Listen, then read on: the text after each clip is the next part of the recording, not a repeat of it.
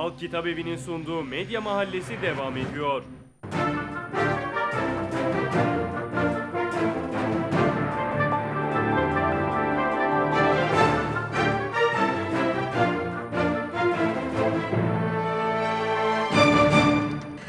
Efendim merhabalar. Tekrar birlikteyiz. CHP milletvekili Ali Şeker'le.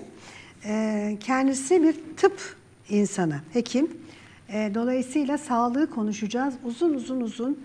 Çünkü sağlıkta devrim yaptık diyorlar ama e, sağlıkta devrim mi yaptılar yoksa e, karşı devrim mi? Sağlıkta yaptıkları şöyle, e, 70 yıllık Cumhuriyet tarihinde AKP öncesi sağlıkta şiddetle bir hekim kaybetmiştik.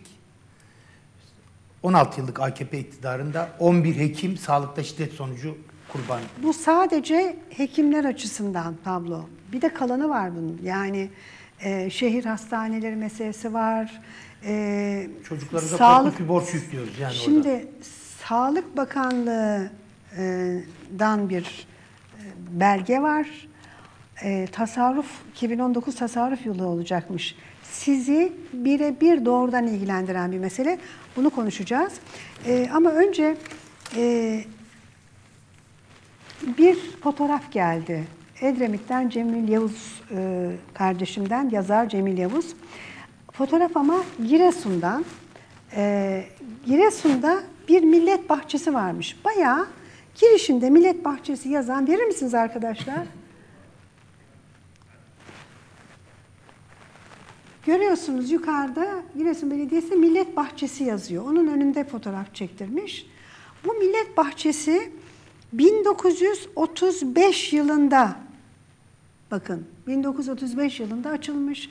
O yıldan bu yana hani yeni evlenenler, işte askere gidecek olanlar herkes hatıra fotoğrafı çektirmek istediğinde onun önüne gidermiş. Bak Millet Bahçesi. Şimdi e, Erdoğan'ı da e, hatırlıyorsunuz hafta sonunda İstanbul'da ilk Millet Bahçesi'ni açtı diyorlardı. Çamlıca 1870'te açılmış Abdülaziz zamanında. Çamlıca Ama Millet millet, Bahçesi. millet Bahçesi değildir onun. Başka Yok bir ismi şeydir. Millet Bahçesi. Basmaya. Kendi Giresun'daki Üsküdar gibi. Belediyesi'nin kendi internet sitesinde de var. Giresun'daki gibi. Ha? yani. Kendi internet sitelerinde var. Ya e, bir şey çok merak ediyorum. Siz herhalde tanıma fırsatı bulmuşsunuzdur diye düşünüyorum parlamentoda falan. Erdoğan sahiden bunları bilmiyor mu? Onu yanıltıyorlar mı? Yoksa o mu bizi yanıltıyor? Yani hani ilk millet bahçesi işte değil canım ilk değil. Hani Ali Şeker söylüyor 1800'lerden.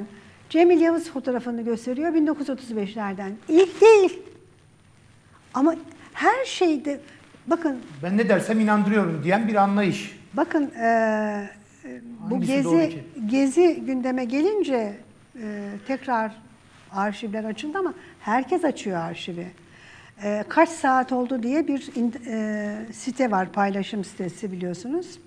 Erdoğan camide içki içtiler. Üstü çıplak 7 adam pardon 70 adam başörtülü bacıma saldırdılar. Görüntüler elimizde. Bu cuma açıklayacağız diyeli 281 cuma oldu. Yani 281 hafta. Ya şimdi hiçbir şey doğru değil. Ee, Gezi'de gördük, Millet Bahçesi'nde görüyoruz, her yerde görüyoruz. Gerçekten kandırıyorlar. Mesela Erdoğan elinde görüntü yokken elimizde görüntüler var. Nasıl diyebiliyor? Şimdi geçen sağlıkla ilgili yine Bacıma saldırıyı vesaire Kabataş yalanını. Kabataş yalanı binlerce böyle yalan sıralayabilirsiniz. Aynı yalanları sürekli tekrarladığınızda millet inanır diye Merak- bir Goebbels'in bir e, Merak ediyorum var. hani Erdoğan'ı mı inandırmışlar, Erdoğan mı bizi inandırmaya çalışıyor? Siz onu biliyor musunuz? Ben ne dersem inandırırım denen hani bu e, küfeli deve mevzu vardır işte e, dişi deve erkek deve mevzu. Yani ne derse inanan e, bir anlayış işte e, o zaman biliyorsunuz e, benim 10 bin adamım var e, ne dersem inanıyor git Ali'ye söyle diye e, o zaman Yezid e, böyle bir e, konuşma yapıyor. E, kendi devesi olmadığını bildiği halde ve dişi erkek diye e, anlatarak yani inandırılmış kitleleri ne söylersem etkiliyorum diyen bir anlayış. Geçen bir yazı yayınlamıştı. İşte Samsun işte e, Üniversitesi'nden, Manisa'dan birçok yerden acil olmayan ameliyatları yapmayın Evet. diye bir e, genelge yayınlamıştı başhekimler. Ve bu genelge bu yazıların doğru olduğu bilindiği halde çıktı e, Erdoğan dedi ki Kılıçdaroğlu yalan söylüyor dedi. O belgelerin olduğunu hepimiz biliyoruz. Gün gibi ortada. Ve bunu da Şenel Yedi Yıldız Sağlık Komisyonu Başkanı akla evvel başhekimler yazı yazmış diyerek onaylıyor. Doğru bu belgeler. Herkesin bildiği belgeler. Hiçbir bilgi belge olmadan e, bunları e, Kılıçdaroğlu söylüyor diyen bir Recep Tayyip Erdoğan. Bir şeyleri bir yere kadar inandırabilirsiniz. Ama sizin söylediklerinizin bir tanesinin bile yalan olduğunu halk görmeye başladığında artık her söylediğinize yalan nazarında bakar. Onun için insanların yalan söylememesi lazım. İnsanlar yanıltılıyorsa da bu kadar kolay yanıltılıyorsa da bu ülkeyi yönetmemeleri lazım. Yani söyledikleriniz çok doğru da ama neticede bu ülkeyi yönetiyorlar. Bir yandan yalan söylüyorlar, kandırıyorlar. Ee, insanlar hani görüyor, görüyor da ne oluyor? Çok merak ediyorum doğrusu. Bakın, Sağlık Bakanlığı dedi ki sağlıkta tasarruf olmaz. Doğru. Hani ne diyor Erdoğan? İtibarda tasarruf olmaz. Doğru. Evet. İtibarda Yani 500 tasarruf milyon sterlinlik uçak almak lazım Tabii, deniyor. tabii canım. Saray, ö, o, uçan saray vesaire. Hem duran saray hem uçan saray. Ama emeklilikte yaşa takılanlara 1 lira paramız yok denebiliyor. Ya esas hakikaten e, sağlıkta tasarruf meselesi çok vahim. Şimdi bakın Sağlık Bakanı bunu söyledikten sonra sağlıkta tasarruf olmaz dedikten sonra 2019 için 956 milyon yani bir yaklaşık 1 milyar liralık tasarruf planı e, açıklıyor Sağlık Bakanı. Ee, şimdi buna göre bakın neler olacak 1 milyar tasarruf yapabilmek için. Etkin laboratuvar kullanımı yani e, bu kısaca böyle geçiştiriyorlar. Laboratuvarda artık her şeyi yaptıramayacaksın. Ver, vereceksin cebinden para, gidip özel laboratuvara, özel laboratuvarda da ben size anlatamam o, hani gitmediyseniz epeydir, o paraları inanılır gibi değil, korkunç paralar istiyorlar. Gidip orada yaptıracaksın. Yani artık kamuda laboratuvar etkin kullanılacak, yani size hizmet etmeyecek. Tıbbi cihaz planlamasında israf önlenecek. Günaydın, bonjour, bonanot, pardon, buongiorno vesaire. Ne? Yani israf niye vardı peki? Önleyeceksiniz. Bütün o MR cihazları, bilgisayar tomografi falan. Bol bol aldırdınız, aldınız. Niye acaba? Hizmet alımlarının kontrol altında tutulması. Ne kastedilir hizmet alımlarında? Hizmet alımlarında işte MR'dı, tomografiydi. Ha. Onları, e, onun dışında temizlik hizmetiydi, güvenlik hizmetiydi. Bu alımlar e, sonuçta firmalara bunlar e, ihale ediliyor ve onlar üzerinden işlev görüyor. Yani geçmişte bunların hepsini devlet yapardı. Ve devlet bütün bunları yaptığı gibi 1 lira para istemeden insanların işini görürdü. Ama artık her şey ücretli. Bugün şehir hastaneleriyle ilgili yeni yeni borç ödemeye başlıyoruz. O kiraları ödemeye başlıyoruz. 2021 yılında Sağlık Bakanlığı bütçesinin %24.7'si şehir hastanelerinin kira ödemesine gidecek. Yani şu anda bu geçen sene bu bütçede yoktu. Hiç para ödemiyorduk. Mevcut bakanlığın bütçesinin dörtte birinin 2021 yılında kiraya gittiğinde bunu nereden karşılayacak? Kesecek. Doktora verdiği parayı kesecek. Mevcut devlet hastanelerinin çatısını aktarmayacak. Mevcut, mevcut devlet hastanelerine çivi çatmayacak. Yani düşünün o binaların bakımsız kaldığını ve sırf bu ne adına o betona verilecek olan kira karşılığı yani şu anda 1 lira geçen sene vermezken bu kira ödemesine daha 2021'de %24.7. Sonraki yıllar daha da çok artacak bu oran. Sağlık Bakanlığı'nın cebinde para kalmayacak ki bir aspirin alabilsin. O kadar. Bu kadar. Çünkü bu paraları biz çocuklarımız, doğmamış çocuklarımız bu firmalara 25 yıl boyunca kira ödemek zorunda bırakıldı.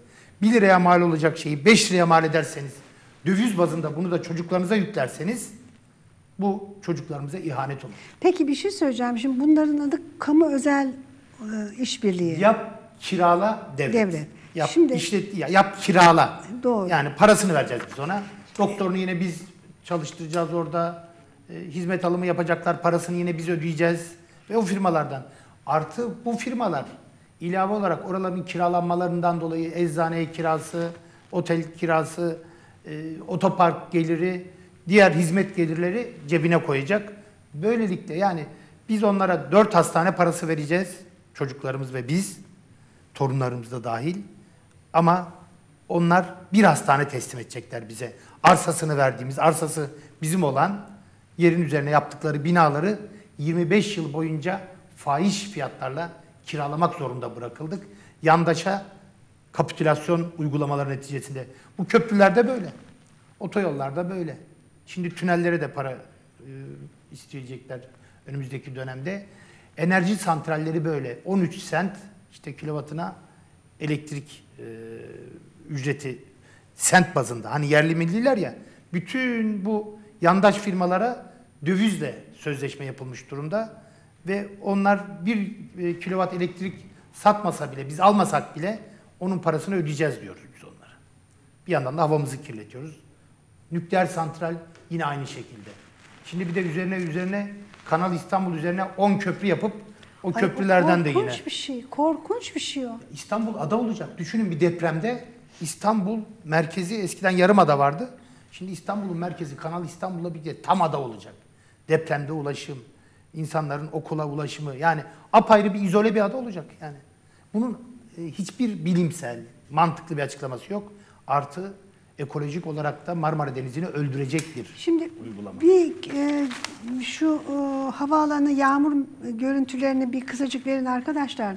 E, bir düzeltme yapmam lazım çünkü hani e, makul e, ölçülerde e, olmaması e, gerekmediği halde aşırı aşırı e, gösteriş için yapılan e, yatırımlarda. Şimdi burası, e, bunlara yayınladık. Burası e, Atatürk Havalimanı'ymış. E, yani e, sular seller orada akıyormuş. Yeni havalimanı değilmiş.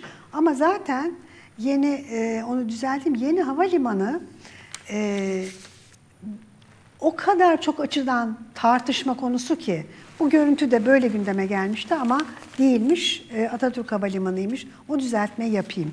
Şimdi e, Atatürk Havalimanı'nı e, yeterince e, işletmeyip belki e, Sabiha Gökçen'e bir pist daha eklemeyip Atatürk bu Ormanı'nda bir yenisini pist yapmak. yapılacaktı aslında. Bir pist yapılıp iş bitecekti. Bu yenisinin ne manası ne? Esas benim ama en korktuğum oydu Kanal İstanbul. Bu konuda kararlı görünüyorlar. Şimdi Kanal İstanbul'u yapacak e, şey var mı? E, bütçede para var mı? Onu da gene krediyle yapacağız. Birilerine yaptıracağız, birilerini zengin edeceğiz öyle mi? O krediyi nasıl geliyor diyeceksiniz. Üç tane yandaş arsalarına değer katacak diye bizim çocuklarımız 50-60 milyar dolar niye borçlansınlar? Zaten şu anki borçları ödeyemiyoruz. Yani bankalara 500 milyar dolara yakın insanların işte borcu var. Nedir bunların bir kısmı ihtiyaç kredisi, bir kısmı ticari kredi, bir kısmı konut kredisi ve insanlar işte kredi kartı borcu korkunç borçlanmış durumda. Türkiye'nin yurt dışına borcu var. Özel sektörünün, devletinin yine bir 500 milyar dolara yakın. Ve bunun üzerine hiçbir getirisi olmayacak. İnsanlar ücretsiz olarak boğazdan geçebiliyorken kimse para verip oradan geçmeyecek. Bu nedir? Sadece bir rant projesidir.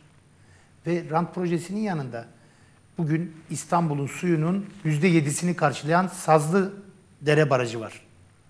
O Sazlıdere Barajı bu kanalın içerisinde kalacağı için İstanbul her sene işte geçen Tarım Bakanı diyor İstanbul susuz kalabilir önümüzdeki yıllarda. E siz %7'sini karşılayan eğer Sazlıdere Barajı'nı ortadan kaldırırsanız, Terkos Barajı'nı tehdit ederseniz ve o Terkos Barajı'na gelecek olan doğudan gelen suların önünü keserseniz onlar hepsi kanala gidecek. Terkos da su toplayamayacak. Yani bu yüzde 15-20'sini İstanbul'un suyunu çöpe atmak demek. İstanbul'un o kanalla birlikte çoraklaşması demek. Tarım arazilerinin tuzlu suyla Çoraklaşması demek. Bu durumda Marmara'nın ölmesi demek. Marmara'nın çürük yumurta kokusuna evet. Yol açmak. Karadeniz zaten öldü Çürümeye yol neredeyse. açacak. Yani çürüyecek yani. Bir Marmara'yı da öldüreceğiz. Marmara'nın yaşamın son bulacağı, bir çürümenin olacağı bilinen ve bunu bilim adamları uyarıyorken bunu devam ettirmek hem çocuklarımızın geleceğini çalmak demek. Bu kadar gereksiz olarak bu alana para gömülmesi. Daha önce betona gömdüler, ekonomiyi betonomi yaptılar demiştim. Yani betonun katılığında hapsettiler. Sırf şehrin rantlarını bir yandaşa peşkeş çekmek için o gökdelenleri dikerek aslında ne park kaldı, ne okul kaldı, ne hastane alanı kaldı.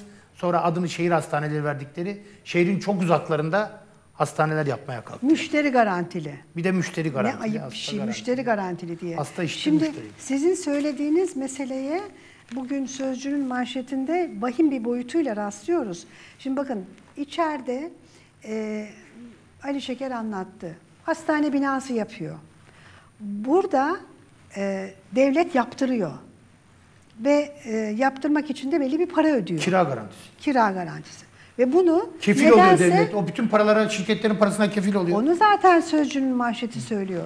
Şimdi bir kere orada euro üzerinden, dolar üzerinden anlaşmalarla e, normalde çok sinirlenir Erdoğan. Hayır bunlar o anlaşmalar kira vesaire hep dolar üzerinde.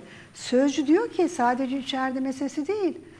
E, dış dışarıdan alınan kredilerde de devlet garantisi olduğu için yandık biz diyor eğer ödemezlerse. Çünkü sadece 7 projede 82 milyar liralık 15 küsur milyar dolarlık 82 milyar liralık kredi borcu var yapanların. E şimdi ödeyemezlerse çıktı borç. O, hani e, dolar 15 milyar küsur ama ya, dolar işte belli bir yere Habire geldi şu bu falan. E, ne olacak? Konkordato ilan ettiler diyelim. Ödeyemiyoruz dediler. Siz ödeyeceksiniz hanımefendiler, beyefendiler. Çocuklarınız 7 ödeyecek. proje sadece. Çocuklarınız ödeyecek. Yani biz şunu Bah, dedik. şey hastaneler yok bile bunda. Sadece köprülerden söz ediyorum. Bizim yerli ve milli davranışımız nedir? Çocuklarımızı her şeyden sakınmak. Yani çocuklarımız aman biz yapmadı, yapamadık çocuklarımız yapsın. Biz okuyamadık çocuklarımız okusun diye bir anlayışımız vardı. Böyle bir kültürümüz vardı.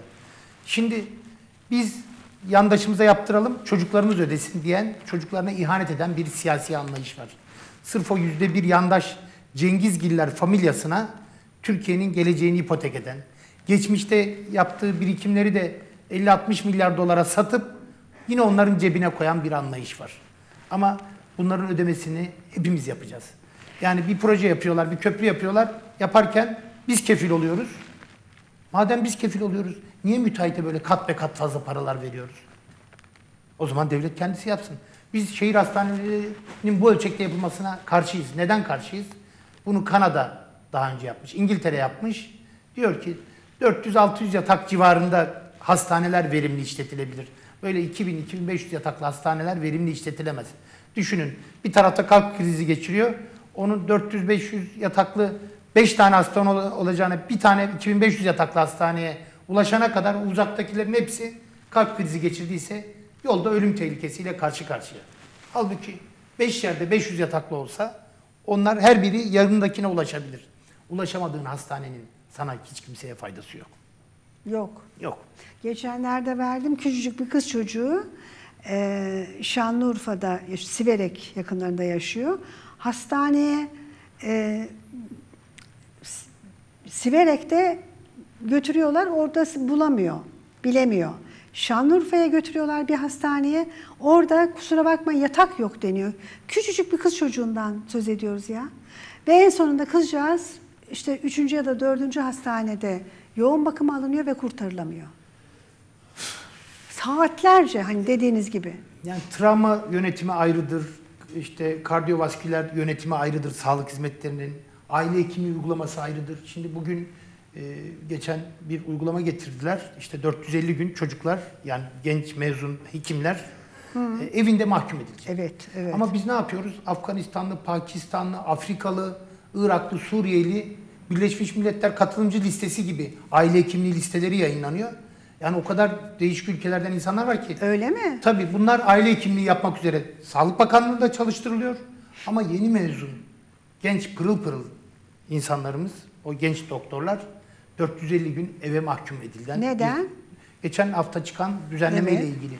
Bu düzenleme şöyle getirildi. 450 gün sonra da e, özel olsun, kamu olsun sadece SGK anlaşmalı olmayan yerde çalışabilecekti. Çünkü bunlar %99'unda gü- çalışamayacaktı yani. güvenlik soruşturması meselesi de var.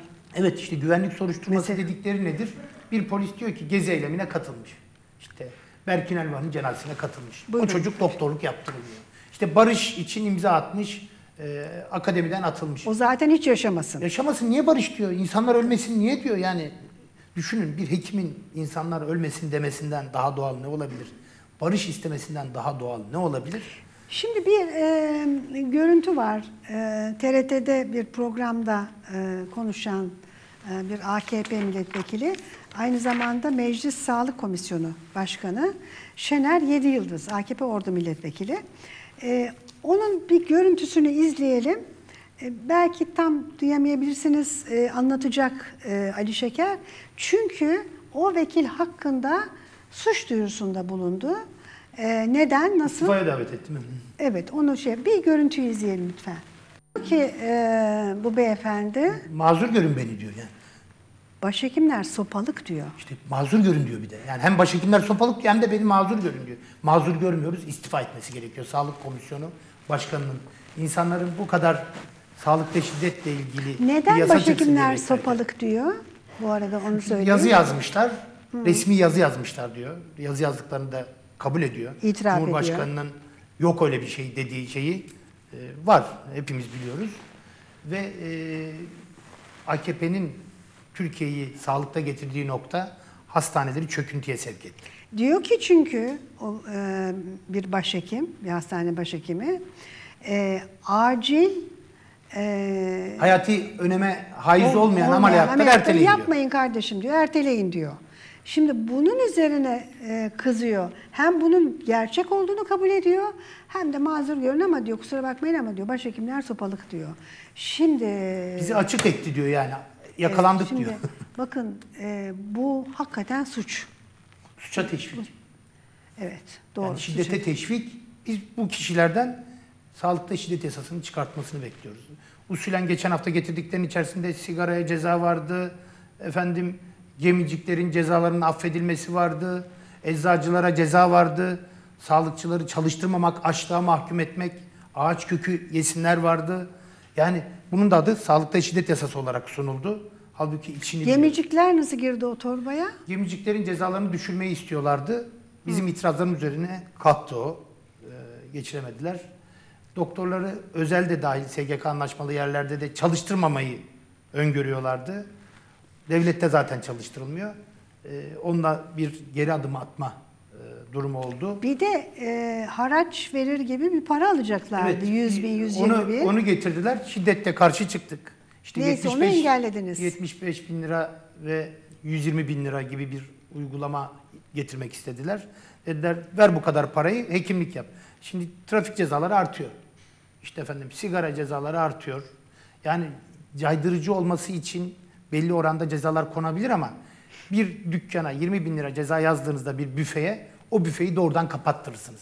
Bunlar ıslah edici uygulamalar 20 bin değil. lira nasıl bir ceza? Yani dışarıdan verebilir? sigara e, reyonu dışarıdan göründüğü takdirde herhangi bir sigara paketi 18 yaşından birisinin uzanabileceği bir yerde sigarayı gördükleri anda satmak değil. Biz sağlıkta bu konuda sigara ile ilgili mücadele edilmesini doğru buluyoruz.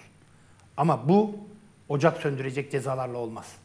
Burada 20 bin lira ne demek? 5 bin lira ile Aynen. 20 bin lira arasında cezayı diyor. Ben diyor eğer diyor dışarıdan reyonunu kapıdan gördüm mesela kapı açıldı gördüm yazarım diyor. Bu yetkiyi veriyor, veriyorlardı yani bu kanunla. Yani akla zarar. Burada- Trafik cezaları e, taksiciler çok tepkili. E, Çekiciler cezaları tepkili. acayip. Çekiciler e, protesto ediyorlardı geçen pahalı. Boğaz Köprüsü'nden geçerken gördüm ben. ikinci Boğaz Köprüsü'nün oraya. Yani bir cezanın maksadı e, ıslah etmektir. Ama siz yok etmek için ceza yazarsanız orada insanlar Şimdi isyan yok etmek için mi yoksa hakikaten deli dumbul işine mi döndü mesele? Yani para yok Habire e, işte oraya ayrı ver, buraya ayrı ver, o yandaşı besle, bu yandaşı doyur derken bir de üstüne üstelik Erdoğan'a hayır diyemiyorlar. Bakın bu çok açık net. Erdoğan isterim de isterim diyor. Ben isterim kardeşim anlamam diyor. Neyi? Kanal İstanbul. Yani çünkü o bir e, çılgın projesi ya beyefendinin. Ne kadar çılgın olduğunu... Yıkım projesi, yıkım. Şimdi ama para olmadığı için de milletin boğazını sıkacaklar. Ver, ondan da oradan da ver, buradan da ver, daha ver, daha ver. Öyle mi?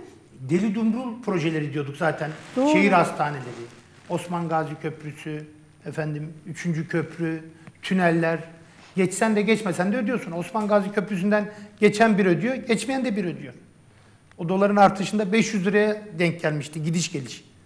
40 dolar, 7 kere 4, 28, işte 6,5 lirayken gidiş geliş 500 liraya denk geldi. Düşünün, bugün Bursa'ya gidip gelseniz uçakla 500 lira etmiyor. Yani bir köprüyü bir, e, 1.7 katı Boğaz Köprüsü'nün mesafeyi düşünün 500 liraya gidip geliyordunuz. Bugün Boğaz Köprüsü 40, e, 42 milyon liraya yapıldı. 21 milyon liraya yapılmıştı o zaman. Demirel zamanında 21 milyon dolara. 21 milyon dolara yapılan karşılığında bugün ayda iki Boğaz Köprüsü parası 42 milyon dolar biz Osman Gazi Köprüsü için ödüyoruz. 512 18 Boğaz Köprüsü parasını biz e, 23 yılın sonunda e, ödeyeceğiz e, vatandaş olarak. Vatandaş bunları sahiden gör- görüyor mu? Ya da görüyorsa hala nasıl, ne adına destek veriyor sizce? Yani düşünün yani zamanında 21 milyon dolara yapmış e, Demirel. Siz her ay her ay 42 milyon dolar ödüyorsunuz ve bundan rahatsızlık duymuyorsunuz. Farkında değil. Ne zaman farkına varmaya başladı? Hani dediler ya milletin cebinden 1 lira çıkmayacak. Milletin cebinde bir, bir kuruş kalmadı. Bırakın 1 lira çıkmamayı. İşte şehir hastaneleriyle ilgili e, bu sene ödenmeye başlıyor. İşte %24.7'si Sağlık Bakanlığı'nın sadece bu kira ödemesine gidecek. Bu milletin cebinden çıkıyor. Kimden çıkıyor? Ama milletin cebinden çıkacak hal kalmadı. Millet de konkordato ilan edecek yakında hükümete karşı. Ay nasıl ilan edecek, edemeyecek yani? Yok para, ne Gariban, yapacak? gariban aç Ali Ağaoğlu'nu. Cengizgilleri besleye besleye artık Afrikalılara dönecek. Yani cebinde para kalmayan, işte zaten son günlerde seçimde alacakları, yerel seçimde alacakları oyların düşmesine dair anketleri bir bir görüyoruz. Fakat şu aile hekimliği konusunda söyledikleriniz çok tuhaf Ali Bey. Yani Afganlı, işte e, Yani Kamerunlu, var. şu Bakın bu. yani söylemekte zorlanıyorsunuz. Yani çünkü yurt dışından gelen bir hekim sizin ailenizin, yaşayış biçiminizin ne olduğunu bilemez. Yani hangi e, söylediğiniz sözün ne manaya geldiğini bilemez. Yani ve o sizin kültürünüzü anlamadığı, bilmediği için sizin ailenize de halkınıza da yararlı olamaz. Bir operasyon konusunda operasyon Ahmet'in Mehmet'in aynı olabilir. Ama aile hekimi o çocuğun Çok şey, hastalığını, tabii. davranışını, hijyenini, bunları da kültürünü de bilmesi gerekir. Ama siz bir gün Afganistanlı'yı getiriyorsunuz diyorsunuz ki bu ailenin sağlığından sorumlu. Ve o bir taraftan da kendi hekiminizle diyorsunuz ki mezun oldun, sen Özgecan Aslan'ın katledilmesini protesto etmişsin. Polis iki satır fiş düzenlemiş seninle ilgili. Çalışamazsın diyorsun. Annen bir sene sigortalı olmuş aşçı olarak bir Fatih Koleji'nde onun için diyor sen mezun oldun, sende hiçbir şey bulmadık ama sana doktorluk yaptırmayacağız denebiliyor. Yani bu akla zarar bir dönemden geçiyoruz. Gerçekten FETÖ'yle mücadele ise, terör örgütleriyle mücadele ise tabii ki mücadele edelim. Ama bu işler mücadeleyi sulandırmak amaçlı yapılan işler. E, Valla ben artık e, hani belli konularda akıl yürütürken iki kere yutkunuyorum, üç kere düşünüyorum. Çünkü sahiden akıl ermiyor. Şimdi bakın ekonomi kötü. E, sağlık yasası böyle. Yani e, neredeyse cum, işte 16 yıl öncesine kadar bir doktor şiddetten hayatını kaybettiyse e, 16 yılda 11 doktor şiddetten e, hayatını kaybetti diyorsunuz. Sonra mecliste sağlık komisyonu başkanlığını yapan beyefendi çıkıyor. Başhekim de sopalık diyor. Hakikaten gidin sopa atın demeye getiriyor. E, böyle bir ülkede Hani nasıl peki kandırabilirsiniz? Nasıl hizada tutabilirsiniz seçmeninizi? Birkaç yolu vardır bunun. Ta Nazilerden bu yana hatta daha öncesinden de bilinen tam Machiavelli'den bu yana aslında. Ee, Machiavelli'nin o ilkeleriyle Prens'in de anlattığı e, dönemden bu yana aslında az çok bilinir. Şimdi bunları biz çok somut bir biçimde görüyoruz. Ee, baskı uygulayacaksınız Kutuplaştıracaksınız, düşman kutuplaştıracaksınız yaratacaksınız. ve cahil bırakacaksınız. Şimdi baskıyı e, gezi mezi meselesiyle falan yapıyorlar.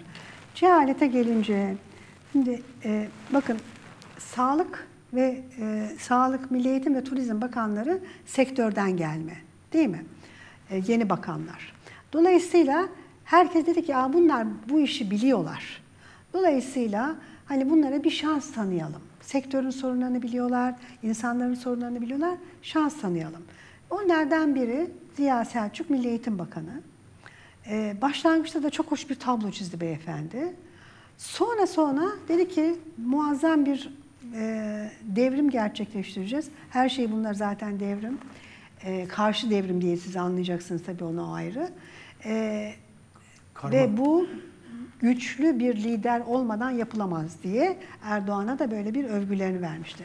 Şimdi o beyefendinin bakanlığındaki din işleri, din öğretimi genel müdürlüğü pardon bir yazı yazdı okullara. Bunları da valilikler okullara tebliğ ettiler. Diyor ki bakanlığın din öğretimi genel müdürlüğü, Milli Eğitim Bakanlığı'nın din eğitimi öğretim genel e, din öğretimi genel müdürlüğü diye ayırmamak lazım. Bildiğiniz Ziya Selçuk Beyefendi'nin bakanlığı. İki nokta üst üste. 24 Kasım Öğretmenler Günü münasebetiyle görevi başında şehit olan öğretmenler, 15 Temmuz demokrasi mücadelesinde şehit olan öğretmenler ve ebediyete intikal etmiş tüm öğretmenlerimiz için saygı duruşu elbette yapılmalı. Hayır, hatim okunacak, hatim indirilecek diyor. Yetmiyor. Ee, gönüllü öğretmen, öğrenci ve velilerinizin katılımı ile herkes gitmeye mecbur anlamını çıkartın siz bundan. İlçenizde, okulunuzda okunan toplam toplam hatimlerin sayısının 22 Kasım 2018 Perşembe günü mesai bitimine kadar müdürlüğümüz din öğretimi şubesine bildirmesini rica ederim. Kaç hatim indirdiniz, kaç hatim okudunuz? Tutacaksınız, Tutanak altına alacaksınız. Tutanak altına alacaksınız, bildireceksiniz. Gönüllü öğretmen, öğrenci ve velilerin katılımıyla. Eğer e, hani gitmezseniz başınıza neler geleceğini bilmiyor musunuz? Dolayısıyla gidersiniz. Sorarlarsa gönüllü dersiniz. Mecburiyetin adı gönüllülük oldu ya. Şimdi bu ne? Ali Şeker, Allah aşkınıza yani şimdi bakın e, Burada başöğretmenin İsteyen- adının geçmemesi de ayrı bir şey. İsteyen e, hatim indirir. İsteyen duasını eder. Ama Milli Eğitim Bakanlığı'nın talimatı ile öğretmenler gününde hatim indirilmesi ve toplam hatim e, adedinin bakanlığa bildirilmesi bu artık başka bir yerdeyiz demek. Laik eğitim derken biz bunu diyorduk. Eğer siz eğitimden laikliği çıkarırsanız bir süre sonra sübyan mektepleri, medreseler, işte 12 yaşında çocuklar evlenebilir, 9 yaşında kız çocuğu büluğa girdikten sonra evlenebilir tarzında açıklamalar yapan insanlar rektör olur, kitap yazar ve İmam Hatip okullarında da bu anlayışlar çocuklara öğretilir. Yani büluğa girmiş çocuk evlenebilir diye Ya. İmam Hatip liselerinde okutulan kitap var bu ülkede. Artuklu Üniversitesi Rektörü Ahmet Ağarakça yazdığı kitapta işte 9 yaşındaki çocuk, kız çocuğu büluğa girer, 12 yaşında işte erkek çocuğu büluğa girer şeklinde Ve dolayısıyla evlenebilir. diye. evlenebilir şeklinde. Gerçekten e, siz Anadolu'ya da çok sık gidip geliyorsunuz Ali Şeker. E, çocuk yani bu kadar küçük yaşta çocuklar zaten evlendiriliyor mu? İşte evlendiriliyor. Sağlık Bakanlığı'ndan bu rakamları istedik çocuk anneliklerle ilgili. Ha, siz iste evet. Evet 22 bin istediniz. cevap geldi. 22 bin çocuk 18 ayda çocuk anne olmuş durumda. Bir dakika 18 bir buçuk yılda 22 bin çocuk anne. Günde 41 çocuk E çocuk doğuruyor bu ülkede. Ve bunun utancı Türkiye'ye ait. Çocuk derken yaş kaç? 18 yaş altı. Yani şimdi 17 var, 10 var, 12 En küçüğü var. kaç diye sorduk. En küçüğünün cevabı gelmedi. Gelmedi. Ha. Ama biz biliyoruz ki bunların içerisinde 15 yaş altı çocuklar da var. Var mı onu soruyorum. Var 15 tabii. aşağı. Var. Ve daha önce işte Kanuni Hastanesi'nde bunlarla ilgili açıklama istediğimizde biz oraya gittiğimizde biz o çocukları gördük. Bunları açıklayan e, sosyal hizmet uzmanı biliyorsunuz sürdüler. E, ve orada e, çocuklar tecavüzcüsüyle evlendirilsin diye bir yasa çıkartmak istemişlerdi. O yasayı tepkilerimiz üzerine, annelerin tepkisi üzerine çıkaramadılar. Ama çocuk anneleri e, adli makamlara bildirmeyerek, emniyete bildirmeyerek koruyorlar. Fiili olarak o çıkaramadıkları kanunu uyguluyorlar. Ve burada da işte aldığımız rakamlarda 22 bin çocuk 18 ayda çocuk anne olmuş. Korkunç rakam. Her gün 41 çocuk anne çocuk dünyaya geliyor. Yani kadına şiddet de ayrıca. Yani bu şiddetin en üst boyutu bence. Ee, 12-13 yaşında, 14 yaşında çocukların evlendirilmesi bildiğiniz tecavüz için bir erkeğe teslim etmek demek. Şiddetin en üst boyutu. Ama yani bununla kalmıyor kadına şiddet. Kadına şiddet demişken bakın Türkiye'nin ilk balerini e, diye bilinen Meriç Sümen. Onun heykeli e, dikildi. E, Meriç Sümen'in. Şimdi İstanbul'da e, bir yerde e, bir belediye tarafından konmuştu. Görüyor musunuz ne hale gelmiş? Yani Atatürk heykellerine olduğu gibi Sanatın içine İlk tükürenlerin yönettiği ülke. ya ilk balerine de e, yapılana bakar mısınız? Dehşet bir şey. Hakikaten dehşet bir şey. E, geldiğimiz nokta bu. Fakat insanlar mesela buna tepki göstermeyebilir. Toplumun önemli bir kesimi. Yalnız sizin söylediğiniz çok doğru bir şey var. Bizde çocuk başka bir önem taşır. Mesela e, Batı'da 18 yaşını bitirdiğinde hadi güle güle derler. Hayır bizde çocuk ebedidir. E, Sakınılır, her şeyden sakınılır. Onun eğitimi, onun geleceği, onun sağlığı her şeyin üstündedir. Her şeyden önce gelir. Ee, Böyle bakarsak şayet bu toplum hadi kendisinden vazgeçti. Çocuklarına yapılanı görmüyor mu, tepki göstermiyor mu Ali Şeker? Şimdi havuz medyası var. Havuz medyası insanların kafasını bulanık suyun içerisine gömüp hiçbir şeyi görmelerini, görmemelerini sağlamaya çalışıyor. İnsanlar görüyor ve gördükçe de isyan ediyor. Eğitimde yaşanan sıkıntıları, skandalları görüyor. Adalet Kalkınma Partisi'ne oy versin, MHP'ye oy versin, HDP'ye, CHP'ye fark etmiyor, İyi Parti'ye. Hepsi artık isyan ediyor. İnsanlar yaşamlarına dokundukça bunları Peki bu mesela tepkisini vermeye başlıyor. yerel seçimde 2019-31 Mart'ındaki yerel seçimde sandığa yansır mı size göre? Biz hep tarihte görmüşüzdür ki insanların yaşadıkları sıkıntıları belli bir süre maskeleyebilirsiniz. İşsizlik var. İşte işkur üzerinden insanları seçimden önce yalandan işe alırsınız. Seçimden sonra çıkartırsınız. Artık insanlar şunu gördü. Türkiye geleceğinden kaygı duyuyor. Az önceki siz rakamlarda da söylediniz. İnsanlar geleceğin iyi olmadığını düşünüyor. Evet. Bunun sebebi ne? Türkiye korkunç borç almış ve bu borçları yandaşları için betona gömmüş. Har vurup harman savurmuş. Yeni fabrikalar yapmamış. Yeni iş alanları yaratmamış. Sadece betona gömmüş. Ve o betona gömdükleri paraların sahipleri diyorlar ki biz daha yüksek faizle sana artık para vereceğiz. O faizde kime yüklüyorlar? 0.98 faizle Ali Ağaoğlu binasını satsın diye, o betonu satsın diye kredi veriyor. Vatandaş bugün işini kurtarmak için kredi istediğinde 2,5-3 puan üzerinden faizle kredi almak durumunda kalıyor. Ve o düşük faizle, Türkiye dışarıdan yüksek faizle aldığı paranın karşılığında düşük faizle o yandaşlara verilen paranın bedelini de çocuklarımız ödeyecek. Bugün her gün neredeyse 1 milyar dolar borç ödemesi yapması Şimdi gereken Azim, bir Türkiye. Tamam ama sorum şu. Bu e, anlaşıldı mı? Bakın Star gazetesi bugün yani hakikaten insanın yüzü kızarıyor okurken. Ee, Türkiye başkanlıkla atağa kalktı. Şimdi bakıyorsunuz e, nasıl atağa kalkmış diye iki madde bulabilmiş. Şimdi bir ülke nasıl atağa kalkar? Milli gelirinizi 10 bin dolar kıskacından kurtarırsınız, 15 bin yaparsınız, atağa kalkarsınız. Sağlıkta hakikaten çağ atlarsınız. Efendim işte e, çok önemli e, Buluşlar yaparsınız. buluşlar yaparsınız. Bilim insanlarınızla Üniversitelerinizde. e, yurt dışına gönderdiğiniz için yakınmak yerine burada kalıp icatlarıyla, buluşlarıyla bizi gururlandıkları için övünürsünüz. Hayır. Neden atağa kalkmış? Nasıl kalkmış atağa?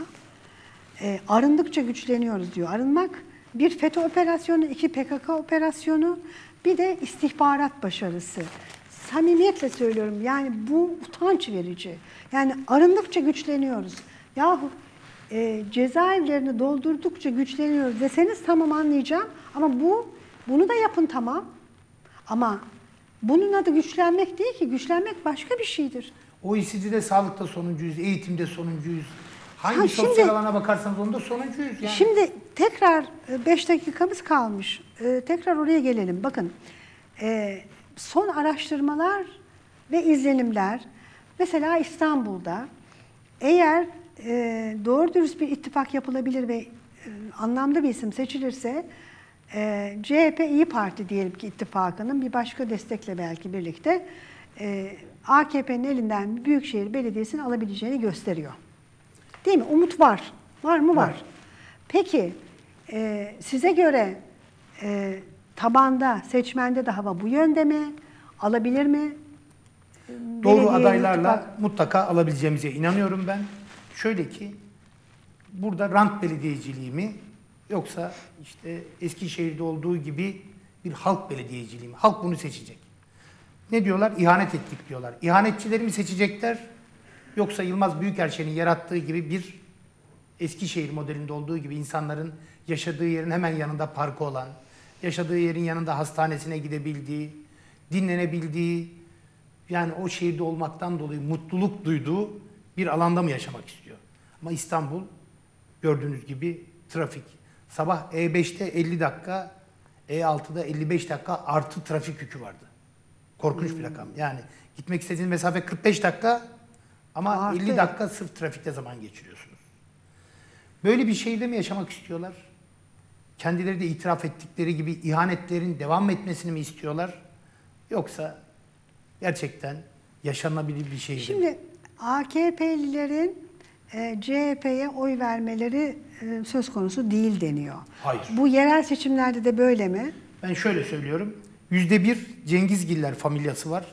Cengizgiller familyası, rant grupları onlar gittikçe zenginleşiyor AKP iktidarında. Yüzde 99 yoksullaşan, fakirleşen bir halk kitlesi var. Bu yüzde 99'un içerisinde AKP'ye oy verenlerin yüzde 98'i de var. Sadece yüzde biri kendilerini kurtarmış durumda orada. Diğer o yüzde 98 AKP'ye oy veren insanların da kurtuluşu gerçekten üreten, hakça bölüşen bir Türkiye'den geçiyor. Bunun için de o Adalet Kalkınma Partisi'ne oy verdi diye o bizim seçmen kitlemiz. O yoksullaşıyor. O artık devletin olanaklarına ulaşmakta zorlanıyor. Ve bundan sonra göreceksiniz o müteahhitlerini daha fazla beslemeleri için artık bütçede gittikçe artan oranda onlara pay ayırmaları için sosyal yardımlardan kesiyorlar. İşçinin ücretinden kesiyorlar. Ve o kesilen ücretleri o işçiler o benzini taşıdığı, mazotun taşıdığı ekmeği alıyor. O mazotun taşıdığı domatesi alıyor. Yani o artan yüksek orandaki elektrik fiyatının ürettiği malzemeleri alıyor. Yani dolaylı vergilerle o yüzde 99 vergileriyle sistemi besliyor. Bir yandan da yandaşları besliyor. Ve bunun ayırdına gittikçe daha çok varıyor. Çünkü artık sosyal yardımlar da olamıyor. Orada da Kesintiler başlıyor. Ee, e, yani e, hazinenin rezervinin bile neredeyse artık dibi gördüğü bir dönemde sosyal yardımlar kolay değil ama tabii seçimlere kadar gene de bir şeyler yapacaklar. Seçime kadar atlatmak istiyorlar. Nasıl erken aldılar bu krizi gördükleri için panik seçim yaptılar. halkı görmeden kandırabilir miyiz dediler. Bir beş yıl daha ömrümüzü uzatalım istediler. Ama artık e, mızrak çuvala sığmıyor. E, insanlar artık bu e, krizin Yani siz hissetti. sahada bunu Görüyorum. birebir insanlarla konuşarak mı Görüyorum. söylüyorsunuz? Tabii ki. Tabii ki sahada insanlar artık şeker pancarı üreticileri satılan o şeker pancarı fabrikalarının neticesinde karın altında çürüyen o şeker pancarı mahsulünü resmen çöp haline getirdiler. Almıyorlar. Daha öncesinde alıp silolarında bekletiyorlardı o. Evet. Şimdi bekletmiyorlar. Diyorlar ben kar etmiyorsam ölüyorsan öl. Çiftçi üretmiş umurunda değil. Zaten şek- pa- e, şeker fabrikalarını sattıkları için artık zaten nereye alacaklar? Sattıkları da başkasına satıyor. Zaten. Bu arada. Onların yerine yeni yeni binalar dikecek, üretmekten vazgeçecek. Eskiden Sekim binası vardı Yeni Bosna'da. Trakyalı üretici getirirdi sütünü. Peynir olurdu orada, tereyağı olurdu, günlük süt olurdu, dağıtılırdı. Şimdi orada AVM var ve o AVM'de artık tüketim var. Üretim yok Türkiye'de, AKP Türkiye'sinde. Son sorum. Adayları ne zaman öğreneceğiz? 250 kadar adayı Açıkladınız. açıkladık. Tamam. Beyler Geri Bey. kalan adayların da açıklanması için önümüzdeki parti meclisinde ciddi oranda yine bir açıklama olacak. Hayır, şöyle yani neyi kastettiğimi biliyorsunuz. Tabii, tabii. Ankara, İstanbul, İzmir, işte e, Bursa e, gibi. Temayül yoklaması e, karar aldı parti. E, bu konuda Ön seçim, üyelerle ön üyeler- seçim değil temayül, temayül yoklaması, üyelerle yapılan bir temayül yoklaması. Bunun da titizlikle yapılması konusunda e, bir e, Ön seçim yerine geçer mi size güvenceye göre? alınması gerekiyor. Ön seçim yerine geçer mi temayül yoklaması? Eğer titizlikle yaparsanız geçer. Şöyle ki ön seçimin şöyle bir takvimi var. Diyor ki işte Şubat'ın 15'inden önce yapamazsınız. Herkes, bütün partiler aynı gün yapıyor seçim takvimi açıklandığında. Ama üyelerle olan temayül yoklamasını bu hafta sonunda yapabilirsiniz. 3 ay öncesinde de, 5 ay öncesinde de yapabilirsiniz. Onun için üyelerle Çok- yapılacak olduktan sonra ve sağlıklı yapıldıktan sonra ikisinin arasında bir fark yok. Sağlıklı yapılması için herkese sorumluluk Merak da düşüyor. heyecan da çok vallahi onu söyleyeyim. İyi adaylar bekliyoruz. olması gerekiyor İyi bir Türkiye'nin performans kurtuluşu için. bekliyoruz, Evet. Çok teşekkürler Ali Şeker. teşekkür ederim. Efendim yarın görüşmek üzere. Hoşçakalın.